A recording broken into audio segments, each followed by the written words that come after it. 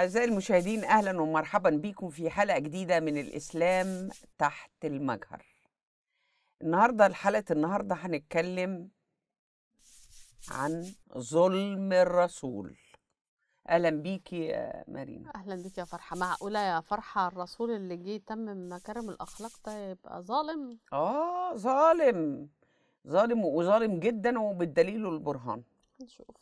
في سورة النساء ثلاثة وإن خفتم ألا تقسطوا في اليتامى فانكحوا ما طاب لكم من النساء مثنى وثلاث ورباع يعني بيقول للمسلمين اتجوزوا ما طاب لكم من النساء. لكم. آه اللي مثنى اللي تعجبك. آه وثلاث وثلاث ورباع. فإن خفتم ألا تعدلوا فواحدة أو ما ملكت أيمانكم ذلك أدنى ألا تعولوا. يبقى إذا هو ال ال القرآن بيطالب المسلمين بالعدل. لو لو لازم الزوجات يعدلوا يعني لو.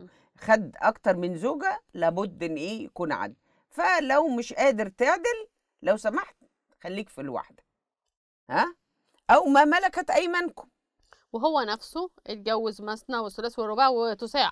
يعني وت... بالظبط بالظبط. يعني هو خد أكتر. يعني عايزة تقول لنا إن هو صرح للمسلمين إن هم يتجوزوا زي ما هم عايزين زي- لغاية أربعة وكمان بالظبط. ملك اليمين لو ملك- عايزين. بالظبط. كويس. فوق البيع. ملك اليمين ده فوق البيع. لكن لو شفنا كده هنلاقي آه، حدثنا أبو الوليد حدثنا أبو عيينة عن عمار ابن دينار عن ابن مليكة أي حاجة هنحطها على التكست يا جماعة. على الشاشة. على الشاشة. أبو مليكة عن المسور ابن مخرمة رضي الله عنهما إن رسول الله صلى الله عليه وسلم آه، آه، لما علي طلب علي حب يتجوز. يا مارينا مم. واحدة. على فاطمة. على فاطمة. علي ابن أبي طالب كان متجوز واحدة على فاطمة. فالرسول قال لا مش موافق. الله. مش أنت قايل آه، كل واحد ممكن يتجوز مثنى وثلاث ورباع؟ مم. مش موافق ليه طيب؟ مش موافق. قال إيه؟ لأن فاطمة بضعة مني فمن أغضبها اغضب يغضبني. وما قربها يربني وما يؤذيها يؤذيني وما وكل حاجة. وما آه أغضبها يعني لا. مؤاخذة يعني يا رسول الله. هم الستات التانيين ها ما بيغضبوش لزوجة لزوجة تانية؟ بيغضبوا بيأذيهم آه وبيربهم أهاليهم ما, ما بيتأذوش نفسيا؟ بيأذيهم. آه طب اشمعنى على آه علي ما انتش راضي تخليه يتجوز مرة تانية؟ ظلم وبتقول للمسلمين التانيين اتجوزوا يبقى وكلهم على فكرة اتجوزوا كذا جوازة. يبقى ظلم النساء التانيين لكن بنته لا ما ما تتظلمش. تتظلمش. والرجالة التانيين الرجالة المسلمين التانيين يتجوزوا زي ما هم عايزين. علي لا. علي لا برضه شوفي يعني قد إيه هل ده عدل؟ لا طبعا ده ظلم. إيه أول واحد يحط يعني قانون حطه المسيح؟ لينا دايما أنت تقولي الآية الذهبية ما. هي الآية الذهبية؟ آه كما تريدين أن يفعل الناس بكم افعلوا أنتم أيضا هكذا بهم. بس كده. كله متساوي. كمان المسيح حط نفسه يعني رغم إن هو الإله العظيم آه، آه، آه، يعني كل حاجة حط عمره ما حط نفسه فوق التلاميذ. لا ده بالعكس ده هو غسل أرجل التلاميذ. لا أول حاجة طفوطه ده غز... نزل غسل أرجل التلاميذ وقال لهم شايفين اللي أنا عملته كده؟ تعملوا كده مع بعض. اعملوا أنتوا كده مع بعض. خلينا نشوف آه، حاجة تانية بتأكد نفس الفكرة إن الرسول اللي كان يمشي على الناس ما يمشيش عليه هو آه. ولا على بناته. لا لا لا لا. إزاي ده هو الرسول يلقط على طول آه. يقول لك في سورة المجادلة 22 بيقول لك لا تجد قوما يؤمنون بالله واليوم الآخر يودون من حاد الله ورسوله لو كان أبائهم أو أبنائهم أو إخوانهم أو عشيرتهم. تفسير ابن كثير بيقول نزلت في مين في, في أبي عبيدة. قتل أباه يوم بدر. و أو أبنائهم يقول لك في الصديق. آه، هم يومئذ بقتل ابنه عبد الرحمن مم. أو إخوانهم قال لك نزلت في مين مصعب في بن مصعب عمير. بن عمير قتل أخاه عبيد بن عمير مم. يومئذ أو عشيرتهم أن عمر قتل قريبا له يومئذ تقريبا خاله يعني خاله آه وفي حمزة وعلي وعبيدة بن الحارث قتلوا عتبة وشيبة والوليد بن عتبة يومئذ. يبقى دول قتلوا أهاليهم اللي قتل. أخوه اللي قتل أبوه اللي قتل خاله اللي قتل أخوه اللي قتل كلهم قتلوا أهاليهم. تعالي بقى لما راح فتح ده في إيه في بدر مم. لما راح يفتح مكة مم. قال لهم إيه لو شفتوا العباس ما حدش يقتله. ده إيه؟ ده قال على كذا حد من العيلة برضو آه تعالوا نشوف الكلام ده فين. في السيرة النبوية لابن هشام غزوة بدر برضه هي في نفس بدر بدر نهى الكبرى. نهى النبي أصحابه عن قتل الناس. يعني هم قتلوا أهاليهم بس هو في نفس الغزوة يعني هو بيتكلم في نفس الغزوة. أصل في بدر اتنين اتنين، آه. مم. مم. المهم إن هو في في الحروب هم. كانوا بيقتلوا في الحروب آه. فقال لهم لو حد هيشوف العباس ما حدش يقتله. آه. طب اشمعنى أنت يعني؟ يعني. أهلك عليهم على راسهم ريشة يعني ولا إيه؟ آه طبعا. مش النبي عمه ابن أخوه. يقول لك. كده عن ابن عباس أن النبي قال لأصحابه يومئذ إني قد عرفت أن رجالا من بني هاشم وغ... شوفي بني هاشم. آه وغيرهم قد خرجوا كرها. بيقول لك لا لو النبي عبد ماسكين السيوف بالإك... يعني مخ... هيحاربوا الرسول بالإكراه. آه آه. طبعا كذب. لا كذب طبعا. لا حاجة لهم بقتالنا فمن لقى منكم آه، أحدا من بني هاشم فلا يقتله. ومن لقى أبا البختري ابن هاشم ابن الحارث ابن ابن هشام أسد، ابن الحارث. ابن هشام ابن الحارث ابن أسد فلا يقتله. ومن لقى العباس ابن ابن عبد المطلب عم رسول الله فلا يقتله. مم. إنما فإنه إنما أخرج مستكرها فقال أبو حذيفة. كلهم خرجوا مستكرهين ها واخدة بالك. عارفهم بالاسم. مم. قال أبو حذيفة ومين اللي هيكرهها؟ مين اللي رئيس العصابة اللي هيكرههم يعني إنهم يحاربوا الرسول يعني؟ ها؟ مين؟ ولا حاجة. ما فيش حد بيكرههم أصلا. هم أصلا ما, ما كانوش عبيد هم أحرار. طبعا. محدش مم. هي... حدش متسلط عليهم عشان يكرههم بالظبط. يحاربوا. بالظبط. المهم راح أبو حذيفة قال إيه؟ أنقتل آبائنا أب- وابنائنا أبو حذيفة ده صحابي. أيوه. أيوه. قال نقتل آبائنا وأبنائنا وإخواتنا وعشيراتنا ونترك العباس. إشمعنى؟ أيوه. راح قال إيه؟ والله راح قعد يحلف والله لأن لقيته لألجمنه السيف. ده أنا لو شفت هقتله. آه. فيقول لك إيه فبل... قال فبلغت رسول الله فقال لعمر بن الخطاب أبا حفص قال عمر والله إنه لأول يوم كانني فيه رسول الله بأبي حفص. أيضرب عم وجه رسول الله؟ أبو بكر عمر قال أيضرب وجه عم رسول الله؟ طب أنت اشمعنى مش ده؟ ما أنت ما أنتوا قتلتوا. ده ما أنت قتلت خالك. ده انت كلكم بتقتلوا عيالكم واخواتكم. بالظبط. هيضرب و... و- يضرب وجه آه. آه أيضرب وجه عم رسول الله بالسيف. فقال عمر يا رسول الله دعني لأضرب عنقه بالسيف. عايز يروح يقتل مين؟ أبو حذيفة. مم. أبو حذيفة بتاع رضاع الكبير. الكبير. ما هو بقى شالها له. قال له شالها له. هجيب. كرامتك هخلي مارينا وفرحة تتكلم. في 400 سنة يقولوا إن الراجل ده ساب مراته ترضع مراته ترضع. سيبهولي. قال له يا رسول الله دعني لأضرب عنقه بالسيف. والله لقد نافق. فكان أبو حذيفة يقول ما أنا بآمن من تلك الكلمة؟ خايف. رعب رعب. قال له إيه؟ تاني الله يخليك عيد الحتة دي تاني. فكان أبو حذيفة يقول ما أنا بآمن من تلك ال- الكلمة التي قلت يومئذ. ده, ده أنا من ساعة ما قلت لجمناه السيف دي وأنا. وقالوا لها هيضرب نقتل أبو حذيفة من كنت ساعتها خايف في حالة عمري رعب ما ح- اديت الأمان. عمري. مم. مستني حد يقتله في أي وقت. مم. ولا زال منها خائفا. يعني مش ب... مش آمن وما زال خائف إلا أن آه، تكفرها عني الشهادة. فقتل يوم اليومامه شهيد من خوفه يا عيني عايز إيه؟ يموت شهيد عشان يم- يبعد عن ال- ال- الغدر اللي هيتم فيه من من محمد.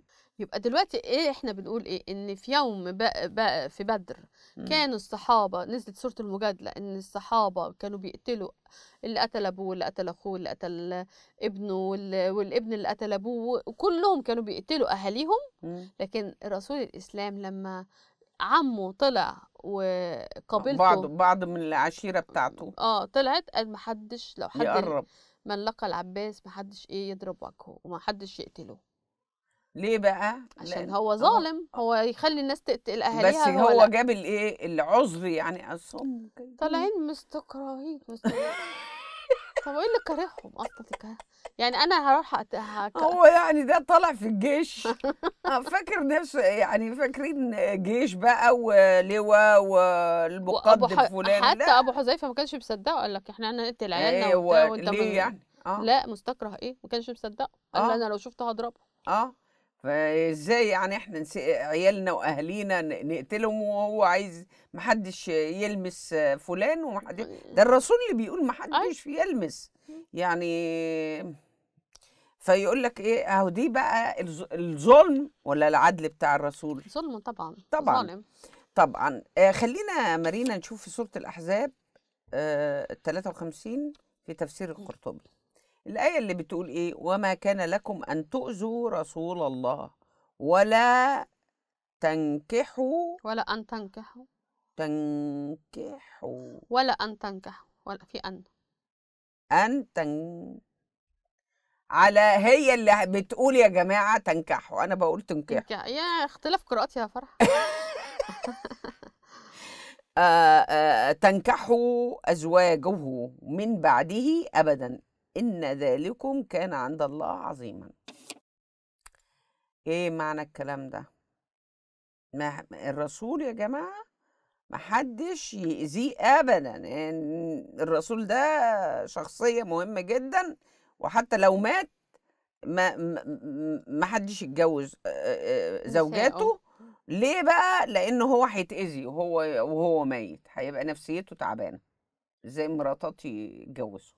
تمام؟ ماشي يا عم مفيش مشكلة في تف... إيه بقى الكلام ده سبب نزول الآية دي أو سبب مم. تأليف الآية دي روي إنها نزلت في تفسير القرطبي روي إنها نزلت بسبب إن بعض الصحابة قال في صحابة كانوا قاعدين لو مات رسول الله لتزوجت عائشة دلوقتي يا فرحة في سؤال يعني أنا اتفضلي. ممكن واحد راجل يكون صاحبه يبقى قاعد على القهوة يقول ده أنا ف- آه، فلان ف... أستاذ محمد ده لو مات أنا هتجوز مراته. إيه الكلام الفاضي ده؟ دول صحابة رسول الله. دي الأخلاق أصلا. يعني عينه على الولية سوري في اللفظ عينه على الولية وجوزها عايش. إيه ده عيب؟ ما الرسول عمل كده. آه. هو ما كانش عينه على الست زيد مرات- وزيد و- ودي سبب نزول 37 في الأحزاب. كان عينه على زينب بنت جحش. كلهم زي بعض. فبيقول إيه؟ لو مات رسول الله صلى الله عليه وسلم لتزوجت عائشة. مم. فبلغ ذلك رسول الله. قال يا تزوجت عائشة؟ فتأذى به. اتضايق. ها؟ هكذا كني عنه ابن عباس ببعض الصحابة وحكى مكي عن معمر إنه قال هو طلحة ابن عبيد الله. طلحة. طلحة ده هو اللي قال الكلمتين دول. واضح إن طلحة كان بيحب إيه؟ عائشة. ليه بقى؟ سمى سمى بنته- عائشة. أها. نفس التفسير بيروى إن رجلا من المنافقين سماه منافق على طول. على طول آه. قال حين تزوج رسول الله صلى الله عليه وسلم أم سلمة بعد أبي سلمة واحدة يعني. أم سلمة من زوجة الرسول. آه بعد وحفصة. أبي سلمة مم. وحفصة. بعد خنيس حفصة بنت عمر يعني بعد خنيس ابن حذافة ما بال محمد يتزوج نساءنا؟ والله لو قد لو قد مات لأجلنا لأجلنا السهام على نسائه. يعني هن إيه؟ إحنا كلنا كل واحد هي إيه يعمل ياخد سهم آه، السهم على دي هتاخد ده وده هياخد ده وده دي وكل واحد بقى إيه؟ هيختار له واحدة أهو. بيقول ما بال محمد يتزوج نسائنا. الراجل يموت من هنا؟ على طول يلهط. إن الست حفصة خدها وأم سلمة خدها بعد ما اجوازهم ماتوا طيب إحنا بقى كمان لما هو يموت هنعمل السهام بتاعتنا على س... ده كل واحد ياخد حظه من النساء في نساء الرسول. راح قال لهم لا. قال أنا أتجوز نساء كنتوا تتجوزوش آه نساء. أنا ألهط. آه. أنا الهط و... نساء وراح مسميهم أمهات المؤمنين عشان إيه ما حدش يجي انت عندهم. عارفة آه، وهو أب لهم في قراءة. لا ما دي خلاص دي راحت في داهية دي. آه ده شالوها؟ آه. آه. ده ما بقوش أمهات المؤمنين. ده وهو أب لهم قاموا شايلينها لا لا لا لا امسحوها بسرعة عشان هو كده يعني هم يبقوا امهات واحدة تسع سنين آه. يقول لها يا ماما يعني تصوري تسع سنين والشيخ ماما. كبير.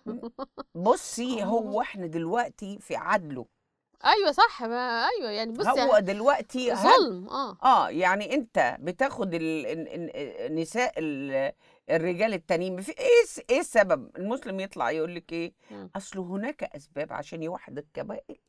كبائل ها؟ القبائل يوحدهم مش عارفة إيه واحد قبائل؟ هو مفيش توحيد القبائل إلا في حالة النكاح بس. زينب بنت جحش ما كانت من عيلته أصلا بنت عم بالظبط. واتجوزها يوح- يوحد قبيلة فيها إزاي؟ ياخدها من جوزها ليه؟ ومعظمهم كانوا من نفس ال- يعني من نفس البلد يعني. ياخدها من جوزها ليه؟ وياخدها من متجوزها جوزها. ده ما آه، استناش يموت. متجوزة. آه، وبعدين إيه؟ ومخبي في قلبه في- في قلبه حبها.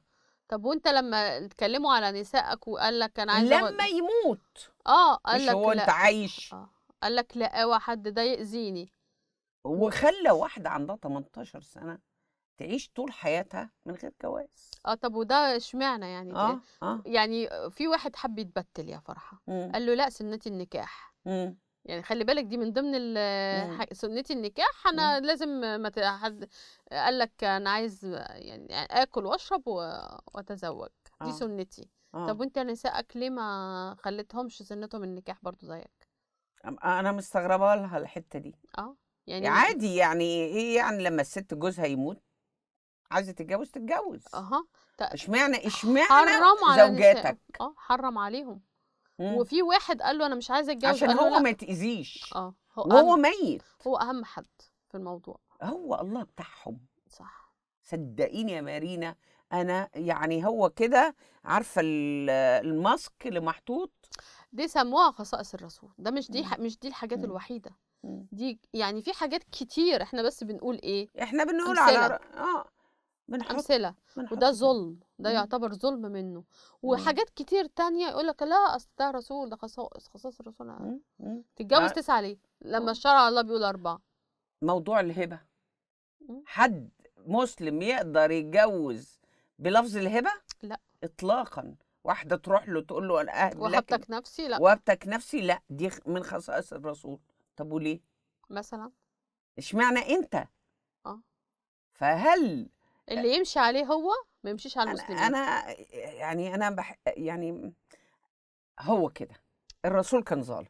نعم واللي يمشي عليه ما يمشيش على الباقي. بالظبط شرع هو ليه شرع لوحده غير شرع الله اللي نزل. بالظبط كده. فعموما يشرع معلش إيه اخر حاجة يشرع ولا يشرع له آه حلو صح آه. كده.